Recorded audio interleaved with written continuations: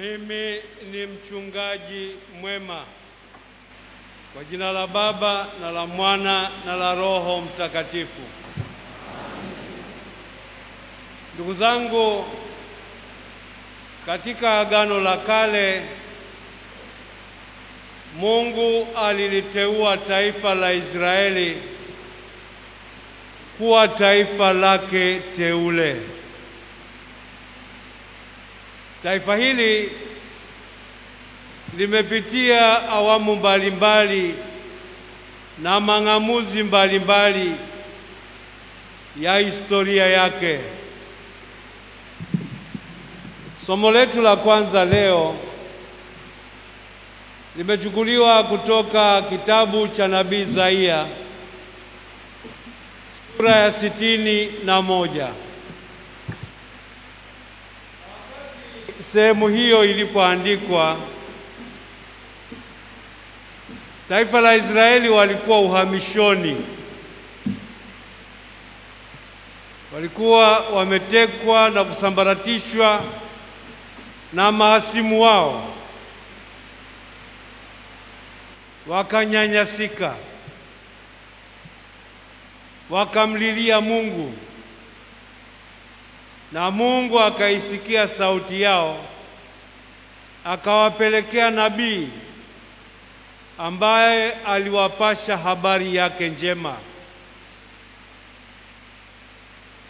Sehemu tuliyosikia ya sura ya sitini na moja ya kitabu cha nabii Isaia ni habari njema ya faraja na matumaini kwa taifa la Mungu. Na katika kuwafariji, Mungu aliruhusu baadhi waondoke kutoka utumwani, kutoka uhamishoni na kurudi katika nchi yao. Wamerudi kwa matumaini makubwa, lakini walipofika nchi ya ahadi, yale waliyoyategemea hayakudhihirika. Kwanza, waliowakuta hawakuwapokea kwa moyo mkunjufu, lakini pia hali ya nchi ilikuwa ya kusononesha, ya kuvunja moyo, na kwa sababu hiyo kukawa na hali ya kukata tamaa. Mtume au mjumbe wa Mungu anatafuta kuwatia watu moyo. Anakuja kama Masiha, kama mpelekwa wa Mungu, na amejibainisha kama ifuatavyo: Roho wa Bwana yu juu yangu, amenitia mafuta. Niwapashe maskini habari njema, niwafungulie wafungwa vifungo vyao, nao waliosetwa niwafariji. Ndugu zangu, huyu anayesema maneno hayo aweza kutafsiriwa kama nabii, lakini ni zaidi ya nabii. Kwa hakika anayetoa maneno hayo ni Masiha, mpakwa mafuta wa Mungu, mjumbe na mpendwa wa Mungu. Huyu Masiha anajidhihirisha kikamilifu katika nafsi ya Yesu Kristu, mwana wa Mungu ambaye amejishusha ametwaa mwili, amekuwa mwanadamu kama sisi, kusudi atukomboe. Huyu Masiha tunakutana naye katika somo la Injili Yohana sura ya kumi mstari wa kumi na moja na kuendelea. Anajibainisha kama mchungaji mwema. Mimi ni mchungaji mwema. Mchungaji mwema kikamilifu ni Yesu Kristo ambaye licha ya kujishusha na kujifanya kuwa mwanadamu, lakini pia amekubali kujishusha, kuteswa, kufa kifo cha aibu na kufufuka kusudi atukomboe. Huyu mchungaji mwema ana wasifu wake. Nitatugusia tu chache kati ya sifa zake. Kwanza, kama mchungaji mwema anawapenda watu wake, analipenda kundi lake na anajitoa kwa ajili yake. Pili, kama mchungaji mwema anajitoa kwa ajili ya watu wake. Tatu, kama mchungaji mwema anamfahamu kila mmoja wa watu wake. Tufarijiwe na ukweli kwamba Kristu anatujua, anatujua tulivyo. Kristu anatupenda, anatupenda licha ya mapungufu yetu, kasoro zetu, maanguko yetu.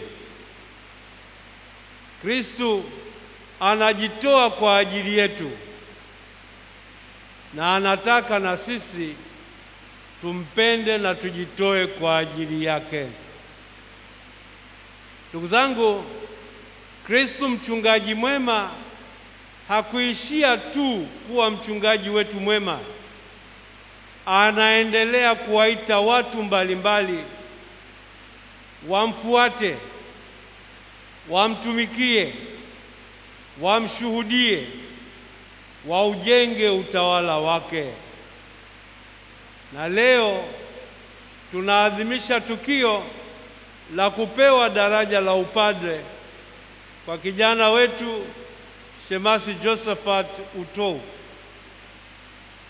Tumwombee kusudi aendelee kusikia sauti ya Kristu mchungaji wake mwema, lakini autambue pia upendo wa Kristu kwa ajili yake, na pia apende kujitoa bila kujibakiza kwa ajili ya Kristu mchungaji mwema, na kuwa mchungaji mtumishi na faraja kwa taifa la Mungu. Ndugu zangu, tunapoadhimisha tukio hili la daraja la upadre na kumshukuru Mungu kwa zawadi ya padre mpya, tutambue kwamba maneno ya Kristu bado ni hai na kweli. Kristo alisema, mavuno ni mengi lakini watendakazi ni wachache. Kwa hiyo mwombeni Bwana wa mavuno azidi kuita watendakazi katika kundi lake. Basi nawaalika kila mmoja amwombe Mungu aendelee kuita vijana wengi wenye afya, wenye imani, wenye maadili wenye upendo kwa jirani na kwa kanisa wajitoe kutumikia ndani ya kanisa lake, na wale ambao tayari ni watu wa daraja ndani ya kanisa tuwaombee nao kusudi waendelee kuthamini wito wao, waendelee kuthamini uwakfu wao, waendelee kujitoa na kumtumikia Kristo kwa uadilifu na haki siku zote za maisha yao. Ninyi mnaonisikiliza, wazazi, baba, mama, tambueni kwamba Mungu anayeita anaita kutoka katika familia. Kwa hiyo niwaalike mupende kuzilea familia zenu ziwe kitalu cha imani, kitalu cha uadilifu na kitalu cha ushuhuda. Mwarithishe watoto wenu tunu zilizo bora, mwasaidie wampende Mungu, wampende jirani, walipende kanisa na kutaka kujitoa kwa ukarimu mkubwa kumtumikia Mungu ndani ya kanisa lake. Amani ya Kristu iwe nanyi.